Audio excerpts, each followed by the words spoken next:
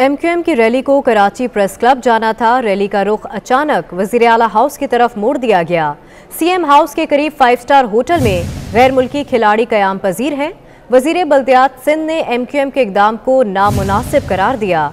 कहा कि आज के वाक़े की इंक्वायरी कराई जाएगी। और भी भारी मुखाल में है और वो तो वैसे ही सब इकट्ठे हैं आपस में। और अगर वो कोई बात नहीं मानते तो ज़रूरी नहीं है कि उनकी बातें हम लोग माने। हमने फिर भी कहा था कि ये बात हो सकती है, इसमें बहुत ज़्यादा चेंज भी की हमने और भी मज़ीद कर सकते हैं। आज उनका प्रोग्राम था प्रेस क्लब पे जाने का।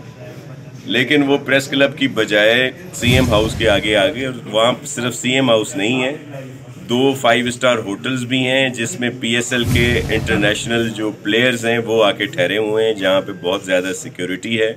हमारी तो बात उनके साथ हो रही थी, लेकिन ज़ाहिर है इंतज़ामी इश्यूज़ थे जिस पर यह कार्रवाई हुई है। और अगर किसी ने ज्यादती की है, पुलिस की तरफ़ से या एडमिनिस्ट्रेशन की तरफ़ से तो उन पर ज़रूर एक्शन होगा। हमारी तो उनसे बात हो रही थी। मेरी खुद टेलीफोन पे बात हुई ख्वाजा इजहार साहब से और मुर्जा वहाब साहब की भी बात हो रही थी। हम तो उनसे बात करने के लिए तैयार हैं, उस वक्त भी कर रहे थे। लेकिन फिर जिस तरह लोग उनके आ रहे थे बाहर से, इस वजह से कोई इशू हुआ है वहाँ पे, जिसकी इंक्वायरी की जाएगी। और अगर किसी अफसर ने ज़्यादा की है तो इसके खिलाफ एक्शन होगा।